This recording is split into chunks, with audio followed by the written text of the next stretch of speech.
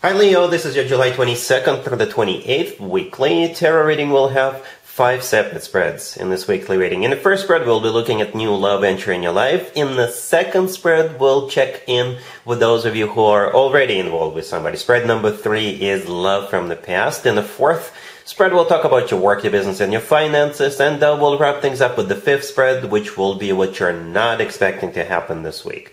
Please like, comment, and subscribe to support this channel. So this is your first uh, birthday week, Leo. If you're celebrating your birthday this week, then happy birthday. Have an amazing uh, year ahead of you. All right, so this first spread is on new love this week. We have the Seven of Swords, clarified by the Page of Pentacles. We have the Wheel of Fortune, clarified by the Ace of Cups. We have you, the Sun. In the potential outcome, we have the King of Pentacles with the Chariot and the Hierophant. And uh, we also have the Ace of Wands on the bottom of the deck. You could be dealing with an Earth sign Taurus, Virgo, or Capricorn. We also have uh, Cancer, maybe a Sagittarius, perhaps even another Leo. I usually go with Kings and Queens, Emperor and the Empress, if any of them show up. So yeah, you got this King of Pentacles, the first card in the potential outcome, as a matter of fact. So this King of Pentacles is, is in the potential outcome. so it could be an Earth sign, uh, Taurus, Virgo, Capricorn, or somebody with a lot of Earth in their chart. If they're not an Earth sign, uh, it could be somebody who is like very grounded. It could be an entrepreneur, somebody who is wealthy, somebody who works for a financial institution. So be on the lookout of somebody like that. Um, we actually start with the Seven of Swords, clarified by the Page of Pentacles, which is immediately followed up by the Wheel of Fortune. And uh, we also have the Ace of Wands on the bottom of the deck. So let's talk about that Seven of Swords. To be honest with you, it's not a really positive card. It is a card of a deception. It is a card of a cheater. But in this case, it's probably one of the following few, I guess. The Seven of Swords could be somebody being in denial about how they feel about you right? So perhaps up until this point, if this is not somebody brand new, perhaps they've been lying to themselves about how they feel about you. For others of you, the Seven of Swords could be sneaking out of some kind of an event, right? Or sneaking out, or running away for the weekend, or something like that. Running away and not letting anybody know what exactly is going on, whom you're spending time together with right? So say you have plans for a particular day or particular weekend with other people and this person shows up, they're gonna tell you, hey, let's do this together. And uh, you will tell your friends or whoever it is you have other pl- original plans with that something came up. and uh, in reality, you and this new person will be spending time together. All right, there could be some sort of a taboo situation, right? Perhaps this person dated somebody you know, and uh, you may think it would be inappropriate for you to see this person. So maybe with the Seven of Swords, you're not you're gonna keep it under wraps with that with the Seven of Swords. Um, if you meet this person at some kind of an event, you guys could be sneaking out of the event before the event is over, and you're not gonna tell anybody that the two of you are leaving. You know, just it could be something like that. One of those scenarios with that Seven of Swords. It's clarified by the Page of Pentacles. Uh, the Page of Pentacles, you could be tickets to a show, tickets to go somewhere all right, uh, us to what have you. The Page of Pentacles could be something uh, tangible, something you can touch. They may literally give you something. All right, um, us to, to get on the plane, on the train, what have you. Right, but the thing about the Page of Pentacles, it's the most uh, serious page out of all four pages. So the Page of Pentacles usually talks about somebody's serious intentions from the very beginning right? Uh, the Ace of Wands on the bottom of the deck. Uh, that ace could belong to you, Leo. You're a fire sign. The Ace of Wands could be a fire sign indicator. But uh, the Ace of Wands is the most passionate ace out of all four aces, if you know what I mean. so the two of you could will definitely be very, very physically attractive to each other from the get-go. All right. However, right next to that Seven of Swords, we have the Wheel of Fortune, clarified by that second ace, the Ace of Cups. The Wheel of Fortune, with the Wheel of Fortune, you guys could literally go somewhere. The, those two cards, the, the whole spread on the left could be talking about one particular day, one particular evening, one particular event, right? Where with the Wheel of Fortune, you're literally going somewhere together with this person. Alright? But uh, the Wheel of Fortune is also a major arcana card, and the Wheel of Fortune usually talks about starting a new cycle, a very fortunate cycle. Hence the word fortune in its name. The Ace of Cups clarifying that is all about love, true, genuine, authentic love. So perhaps there's both passion and love from the get-go, from the very beginning. The Sun in the middle, that's you. Leo, that's your major arcana card, and at the same time, it's the happiest card in the deck. And we're back to that potential outcome with that King of Pentacles sitting right next to the Chariot and the Hierophant. Um, the chariot could be a cancer uh, you're dealing with. The chariot is a card of literally going somewhere, and uh, it's a card of moving forward and not looking back. So if there's like a taboo situation, you guys will eventually decide, you know what, screw everybody's opinion, we don't care. Well, love is what's most important for us, and you're gonna move forward and don't care about what other people think. The chariot is also a card of maybe literally moving in together.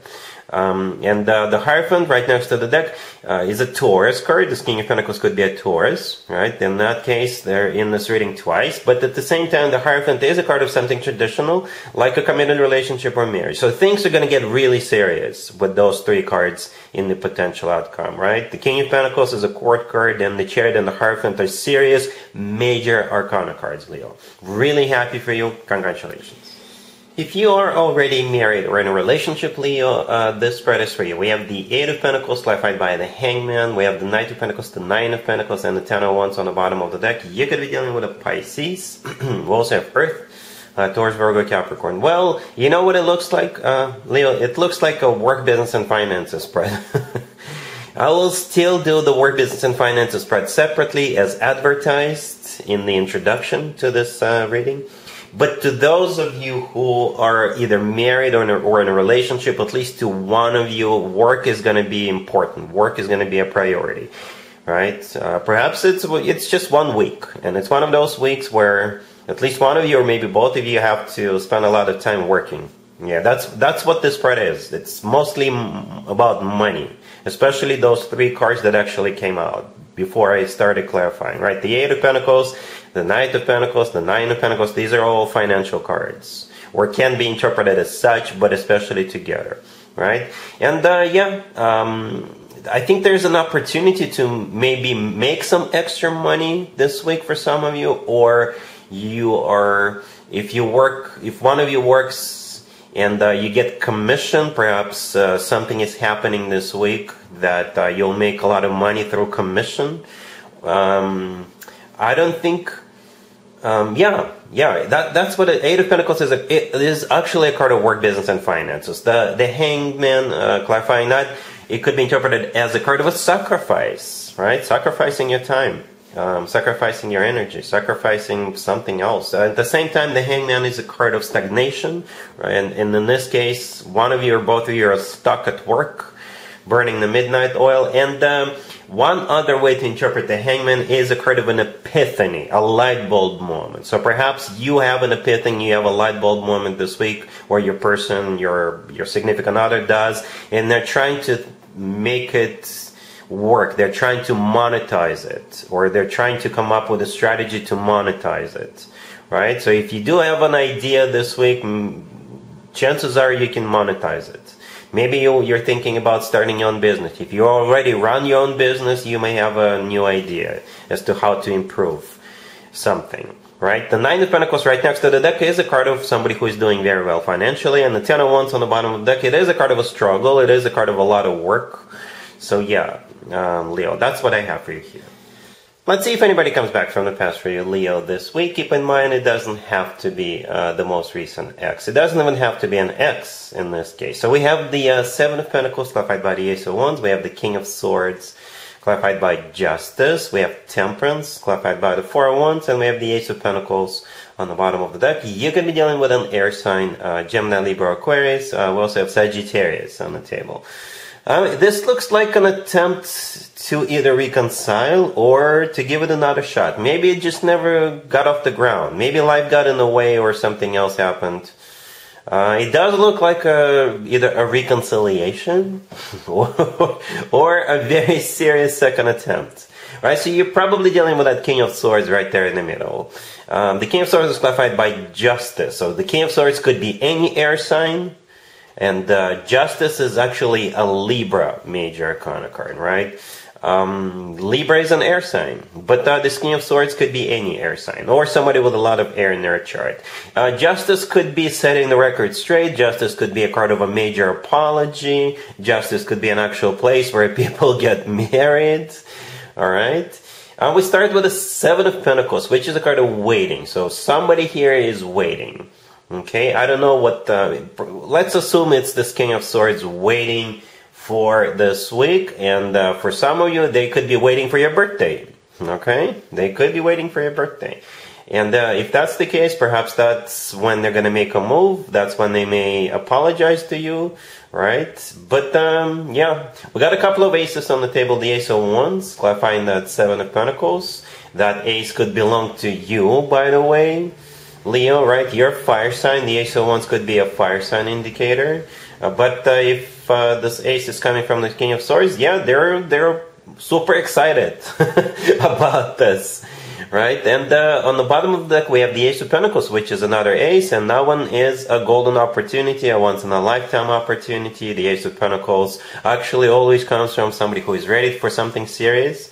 Right, and uh, speaking of series, at the end, right next to the deck, we have Temperance, clarified by the Four Wands. Temperance is a card of patience Temperance is a card of balance. Temperance is a card of getting back together, reconciling, rekindling, you know, bearing the hatchet, right? And uh, the Four of clarifying it is actually a card of a commitment to marriage. Some people call the Four of Wands the 1111 card. So, Leo, yeah, it kind of looks like uh, either a reconciliation or a serious attempt uh, to give it another shot. All right? Cool.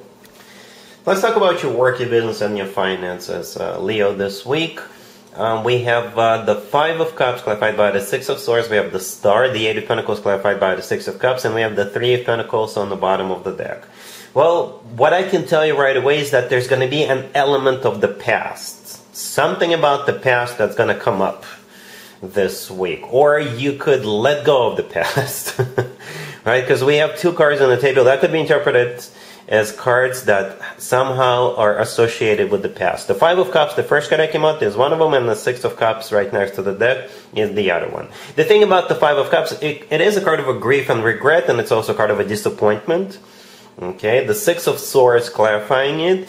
Um, it could be a card of moving on, moving forward, leaving something behind. All right, so you could be hearing from somebody from your past, uh, and they could be saying things like, "Oh, we made a mistake when we let you go," right? So you, that could be one of the scenarios here, or maybe mm, you could be regretting not exploring something, not doing something in the past, and now this week you will have to uh, revisit something that you left behind in the past. All right, the star in the middle is a wish come true, and it's also a card of healing for some of you. And uh, then we have the Eight of Pentacles clarified by the Six of Cups. Um, the Eight of Pentacles is a card of work, business, and finances. And uh, the Three of Pentacles on the bottom of the deck is a card of working in a team environment. It's a card of collaboration and cooperation. All right, so yeah, I see you working with something or on something and with people, but there's something about the past that's going to come up. Not in a not in a like really negative way. You, like I said, you may regret not learning something in the past, or you may regret not addressing something in the past, or not paying closer attention to something in the past, or you could be hearing from somebody from the past. All right, cool. Let's see what you're not expecting to happen uh, this week, Leo. We have the Hangman, clarified by the Moon. We have the Eight of Wands, clarified by the Six of Swords. Then we have the Knight of Wands, clarified by Strength. and we also have the Three of Cups on the bottom of the deck. Um, you could be dealing with a Pisces. Um, yeah, perhaps even a fellow fire sign. Um, Aries, Leo, or Sagittarius. I can interpret this a couple of different ways. Um, what you're not expecting could be uh, a person whose zodiac sign is Pisces showing up, like literally showing up. It could be a reunion, it could be you guys could go somewhere together, you know, because the hangman clarified by the moon, both of those two major arcana cards are Pisces. Pisces major arcana cards, right? And uh, the eight of wands clarified by the six of swords in the middle. Both of those two cards could be cards of literally going somewhere Okay, so you see how these these cards are those clarifiers are duplicates of the cards they're clarifying, right? And uh, the of Wands clarified by strength, that's you, that's your energy. So this is you getting all excited about this, uh, whatever it is you're doing with Pisces. The Three of Cups on the bottom of the deck could be a card of a reunion. Uh, it's also part of a celebration. Um, for some of you, the celebration could be your birthday. Okay, perhaps Pisces is showing up for your birthday. All right. Um, for others of you, um, another way to interpret it is it's the end of some kind of a stagnation, and uh, it's the end of stagnation, and uh, it's like a transformation from you, like being a little bit sad, uh, you being stuck in some kind of you having some sort of a fear you being like really emotional about something because you don't know what's to happen or you don't know something. Right you're kind of worried about something right? And uh, this week there's to be a transformation from that energy towards the Knight of Wands by clarified by the strength right? The Knight of Wands is uh, the knight that's um, really excited about something right and the Knight of Wands is a card of getting on your horse and getting ready to conquer the world. Strength clarifying it is your major arcana card, Leo. Right? And perhaps you will have a reason to celebrate. Again, it could be your birthday. For others of you, it could be some, some other celebration with the Three of Cups. So that's what you're not expecting. Either a Pisces showing up or um, some sort of a stagnation and fearful uh, situation that's going to be resolved and you'll be back on your fiery horse with that Knight of Wands. Alright, so I hope this makes sense, but uh, that's what I have for you, Leo, for this uh, reading for this week. If you're celebrating your birthday, happy birthday one more time. Um, if this video resonates with you, please like, comment, and subscribe. And other than that, Leo, have a fantastic week.